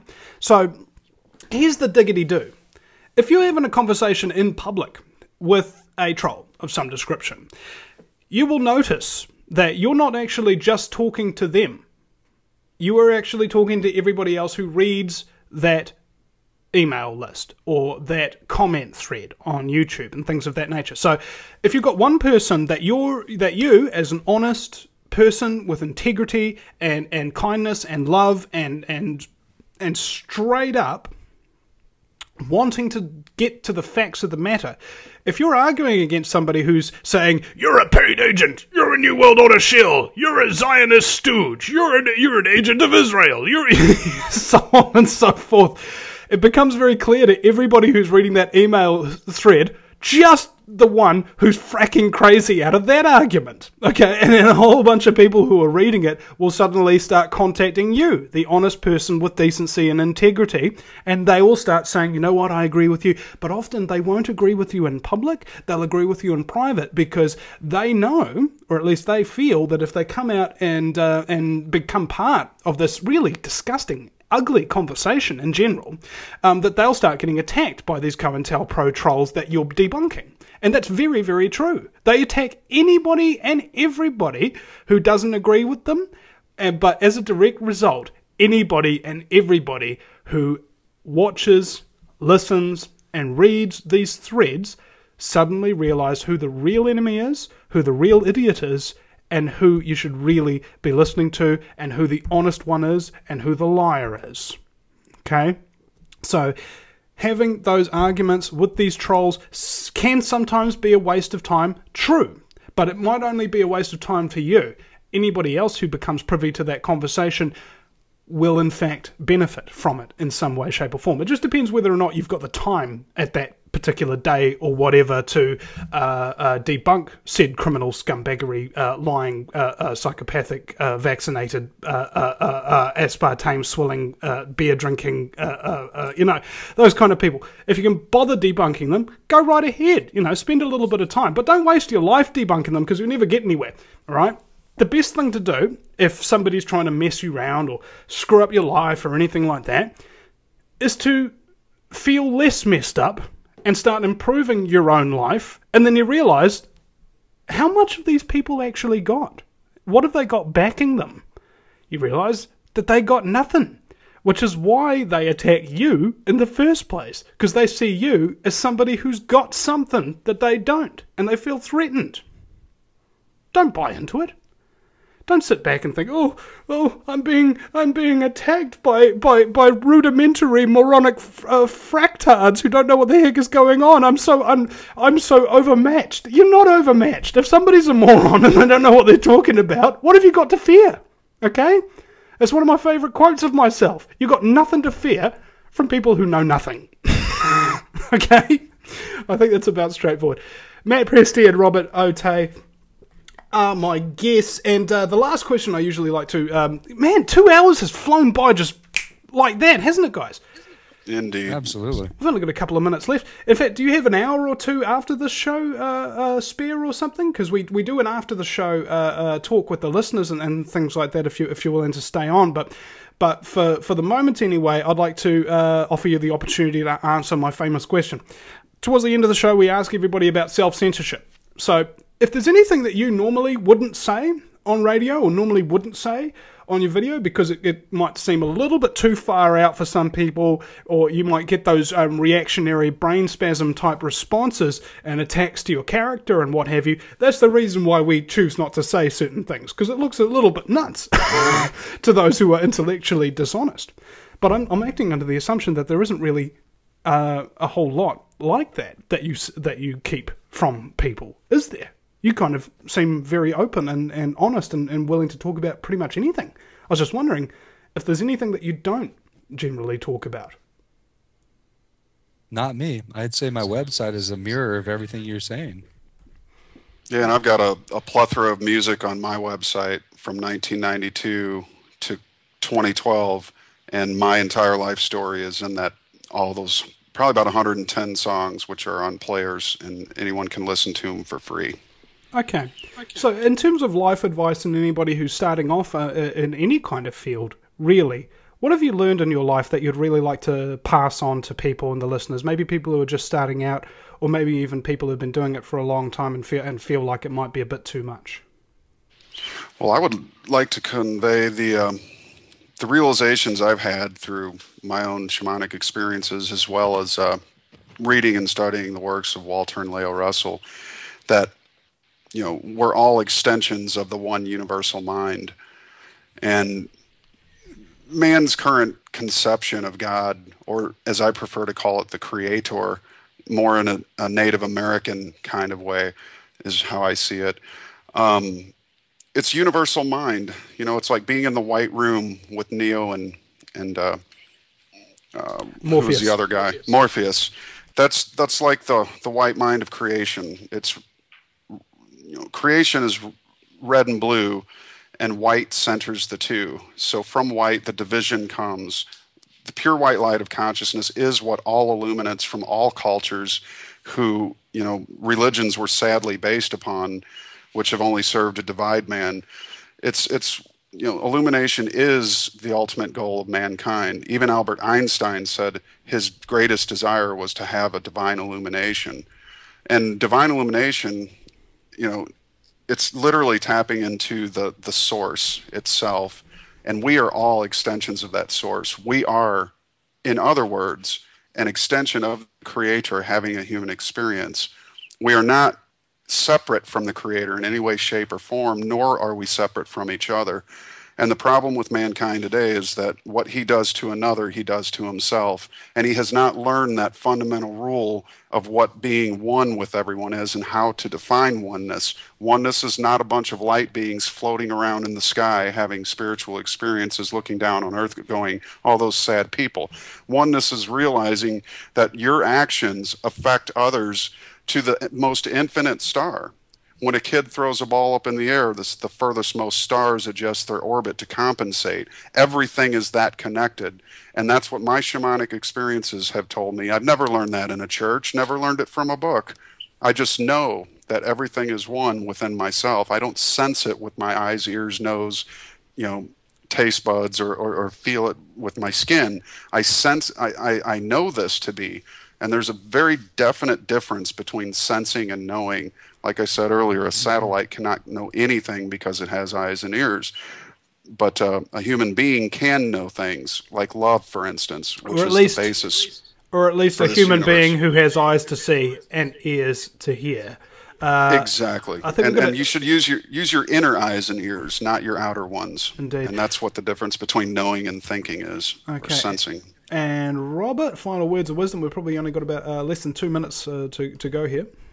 No problem. Um, yeah, I would agree with with Matt. Um, I definitely would pursue the shamanic experiences. That those are what open my eyes, and really going to nature. You know, all the great illuminates, they they've all said, look, we learned what we know from studying nature, from going out in nature and becoming still, going to that still point of of uh, silence in the in the twin opposing vortices of your own heart where your soul resides and just go where that, that union with the creator is and everything can be revealed to you anything. There's nothing that nature can't teach you you know? It's completely opposed to the system of memorizing formulas and equations and theories of academia.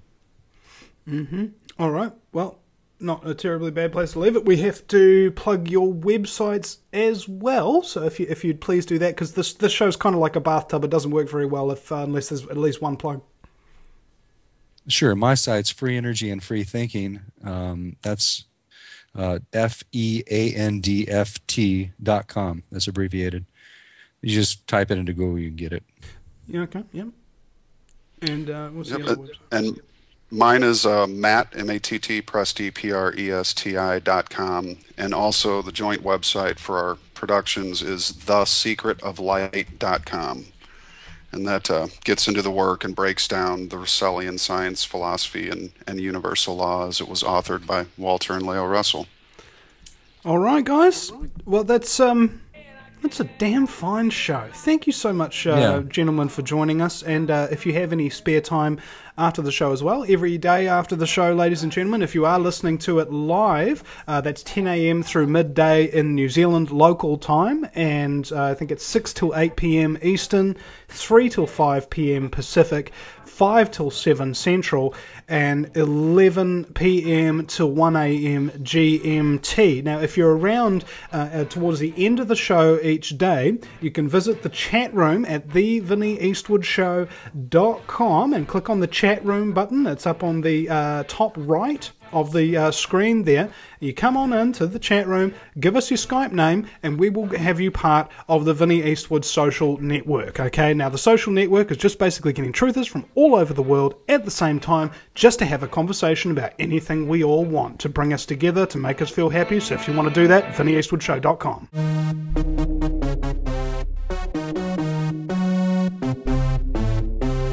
Oh well, that's nice. There's there's one person at least who's uh, managed to start up a truther career without uh, ending their other one. What about what about you, Robert? Same thing. Um, actually, I worked in the recording industry as a you know recording engineer for about 15 years, and um, you know with the advent of the personal computer back around 2000 2001, uh, a lot of the the small studios I worked in were put out of business because you know most people could just produce a CD right on their their computer. So for the last 10 years, I've been kind of working from one ranch restoration, you know, gardening, uh, doing doing all these uh, these jobs where I basically caretake ranches and stuff. And I just finally acquired a, um, a job recently. I'm moving on in the next few days to a horse ranch. So um, I, I I like being on ranches. I like being out in the in the um, the wilds and being close to nature, working with organic gardens and fruit trees and walnuts and stuff. So, um, no, it hasn't affected me. I mean, I, I don't place, you know, the acquisition of, you know, wealth is high on my priority. I mean, I've been pretty much obsessed with uh, knowledge and wisdom for, for most of my life. I mean, I had a shamanic experience also uh, back in 1976, which got me on this path. So, All right. Well, we're coming I mean, to break. That's perfect time to leave it there. Uh, we'll be right back in just a few minutes, ladies and gentlemen. Uh, Matt Presti and Robert Otey are my guests from thesecretoflight.com. Right back, just a few minutes, ladies and gentlemen. Don't you go anywhere. If you take an active interest in maintaining the optimum health and well-being of yourself and your family, the New Zealand Journal of Natural Medicine is the magazine you've been waiting for. Having taken Australia and New Zealand by storm, the New Zealand Journal of Natural Medicine is now available in the UK and Europe. Visit www.nznaturalmed.co.uk or call 01626 337 531 to order your copy now.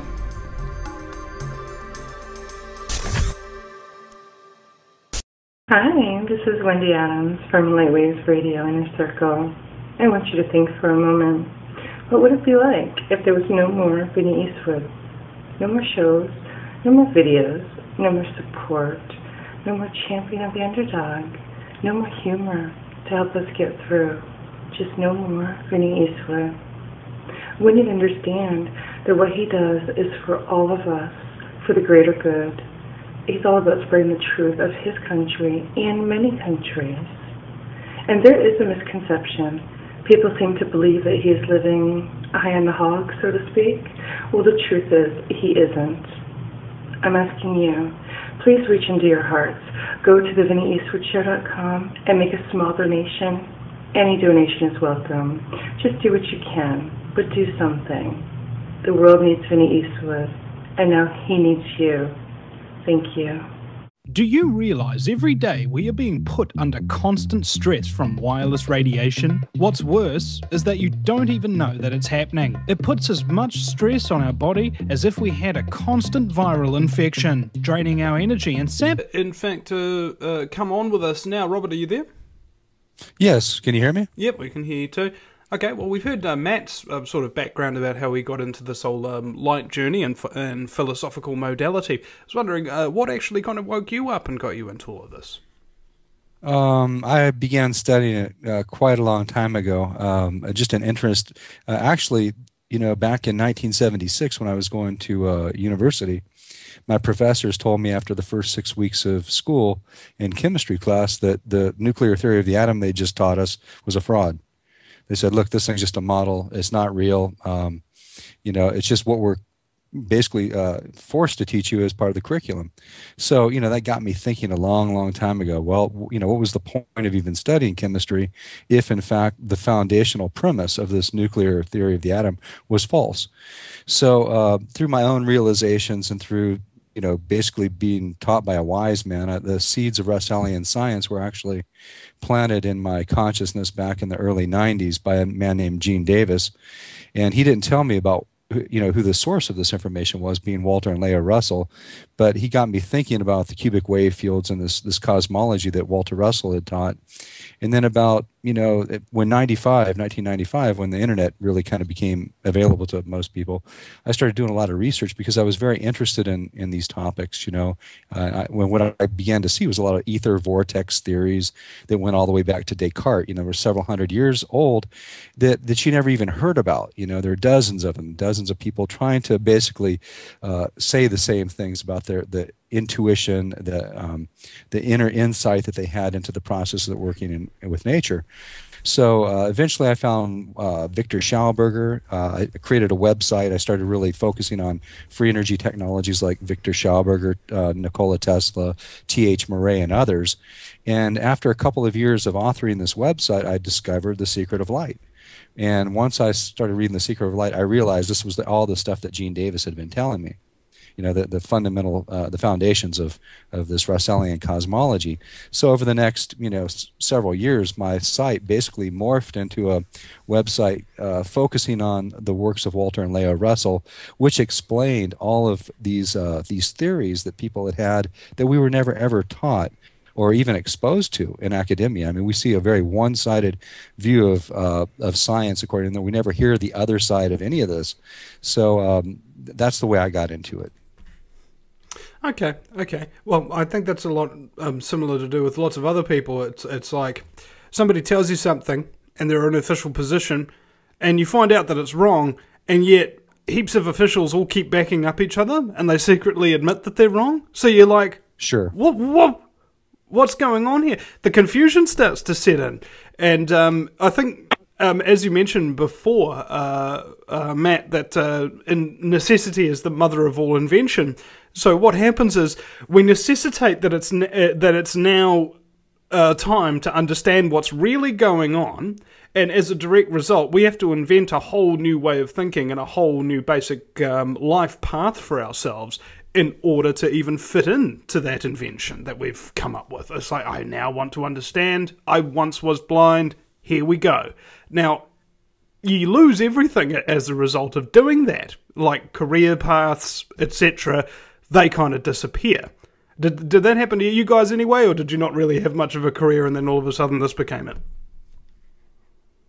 Well, actually, my career, I'm a, a technician, audio technician, and uh, in the electrical field as an electrician, I studied the uh, atomic models that were taught in school and whatnot. Uh, you know, the, the, the current theories, the, the Big Bang, the one way heat death expanding universe. But I also have a shamanic background, which was completely and utter, utterly different in my experiential life that I actually experienced something that was unlike anything in any book anywhere.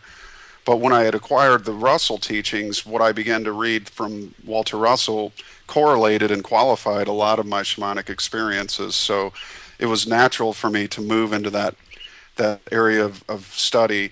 Uh, as far as does, does it affect my job? No, I still do what I what I need to do.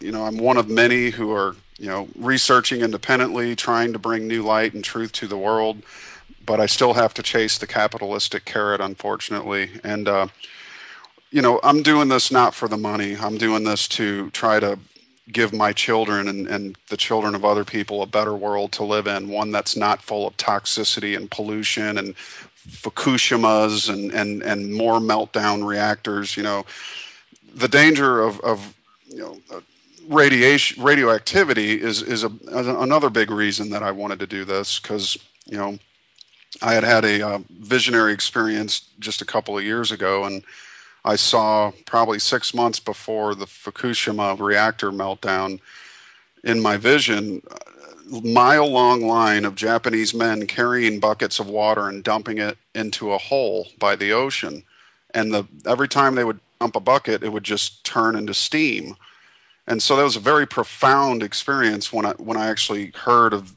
you know the meltdown and, and what was going on. It, it qualified that vision.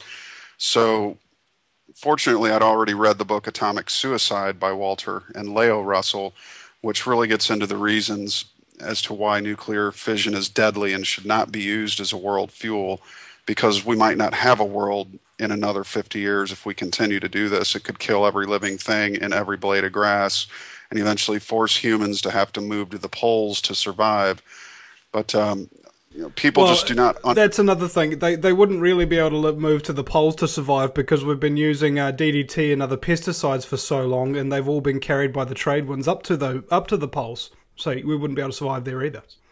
Exactly. So just to try and stave off our own extinction with the stupidity of, of you know what these people have put forward as using usable power, all because of greed and avarice, and, and they do not want to share, and that is a major concern of mine as well. So I just try to be a, a person that I would like to, you know, I try to be the change that I seek to see in the world, as opposed to just talking about it. And uh, as far as my work and employment, it has not affected it at all. In fact, it's it's you know, I get the chance to talk with people in the industry about things like this, and I told them I had to leave work early today just to get here to do this interview, and they were much obliged to let me go. So.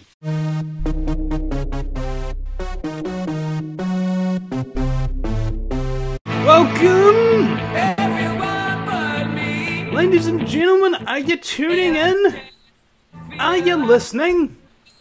Can you hear it broadcasting live on AmericanFreedomRadio.com? You're listening to the Vinny Eastwood Show. It's the lighter side of genocide because in a world so full of chaos and madness, if you lose your sense of humour, you'll go friggin' nuts. Especially me. A very special guest today, uh, and we'll be joined by his uh, uh, friend in, in probably the next segment, if he ever accepts our contact request. But we have Matt Presti. Matt, welcome to the program. Hello, it's good good to be here, Vince. Oh yeah. Tell us a little bit about who you are and uh, and the thing, the topic that we're going to be discussing today. Well, I'm an autodidactic musician and philosopher, and I'm also co-producer of the series The Secret of Light, which is teaching to mankind a science that is not taught in universities today, but uh, it's based around the work of Walter and Lao Russell, two illuminates who uh, have since refolded from the planet. Um, and we have a video series at thesecretoflight.com that is free for anyone to view. Okay, okay. Well, let's get into um, uh, you personally first, because I think we'll actually wait till Robert comes in. Um, he, he, actually appears to have accepted uh, contact requests and is uh, online uh, right now. Uh, so hopefully the board will be able to bring him up uh, soon enough. But before we go to that, I want to talk about you personally, Matt, and, just, just the kind of person you are and what actually brought you into this whole field um, uh, regarding philosophy and uh, the secret of light, as it were.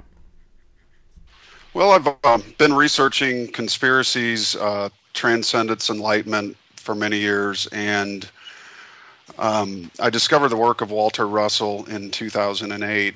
And since then, it has been an endeavor of the heart to uh, deliver a new science to mankind for um, the purpose of stopping the one way heat death expanding universe theory because all it can produce under that current scientific formula is exploding machines, machines that explode energy.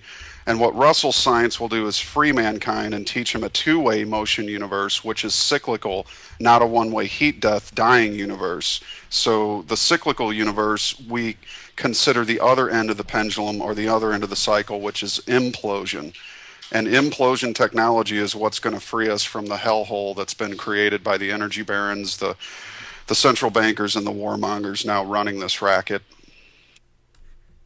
Well, they've been running it for um, well, quite a long time, and uh, one one would conceive, and, and this is a, this is a big theory on the part of a lot of people, is that uh, well, basically they've been running it since uh, since time began, and, and it's a heck of a lot more ancient the uh, the current ruling class than we would ever conceive of. Now, I don't know exactly uh, uh, what the substantiation behind that claim is, but it doesn't change the fact that there are a bunch of criminal, sociopathic, uh, psycho bankers that rule the world today through the issuance of currency. All right, and and as a direct result of having the issuance of currency under their direct control, they're able to control pretty much everything else. They're able to control the scientific, medical, military, and industrial um, sectors of society, education, politics. Basically, he who has the gold makes the rules, and they're capable of making gold up. That is uh, true for now, but uh, if the enti- entire economy collapses, people are going to be forced through necessity to begin inventing new things. And as they say, uh, necessity, um, you know, the mother of all invention is, you know, necessity is the mother of all invention. So when mankind is hurting enough, he's going to have no choice but to either create his own power or continue to be enslaved even deeper into this, you know, ridiculous paradigm that's now uh, running the show. I think uh, Australia just began carbon. Carbon taxing, um, and also it's it's come out that they will now fine you. Uh, I believe it's uh, 1.5 million Australian dollars if you come out publicly uh, disagreeing with the carbon tax. So yeah, Aussies, you you don't like your carbon taxes? How about a $1.5 million tax? That'll teach you for trying to save the environment, eh? Kind of like those hybrid cars. Don't you, don't you love that?